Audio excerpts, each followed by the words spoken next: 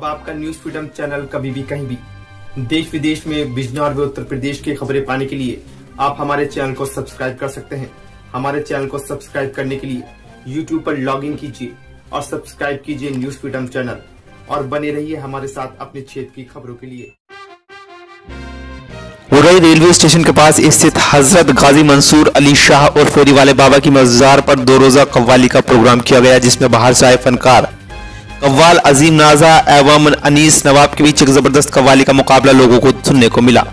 कव्वालों ने एक अजीब शमा बांधा कव्वाली सुनकर अकीदतमंद झूम उठे और तालिब की गड़गड़ाहट सुनाई देने लगी। कव्वाल के कलाम पढ़ते ही नज़ारा देखने को मिला। ये जालौन ज़िले के हज़रत गाजी मंसूर अली शाह और फेरी वाले बाबा की मजार पर हर साल दो रोजा उर्स कमेटी के द्वारा कराया जाता है। इसमें दिल्ली, मुंबई, नागपुर, हरियाणा से कव्वाली बाज आते हैं और अपने बेहतरीन कलाम पढ़कर लोगों का दिल जीत लेते हैं। यही नज़ारा हर साल देखने को मिलता है। एक बड़ी तादाद में लोग गाँव देहात के लोग लंगर लगाने का भी इंतज़ाम कमेटी की तरफ़ से किया जाता है। कव्वाली को सुनने आते हैं और पूरी रात कव्वाली का प्रोग्राम सुना जाता है।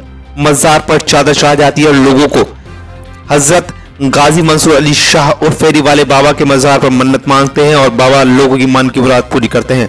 हज़रत गाजी मंसूर अली शाह और फेरी वाले बाबा की मजार पर कव्वाली का प्रोग्राम जब भी होता है, पुलिस प्रशासन वहाँ पूरी तरह मुस्तैद रहकर अपनी ड्यूटी करता है जिससे कोई अप्रिय घटना घटित ना हो सके। पूरी रात पुलिस प्रशासन चौकसी बनाकर रखता है और कड़ी मेहनत करता है। न्यूज़ फ्रीडम के लिए उन्नाव से उमा शंकर की रिपोर्ट।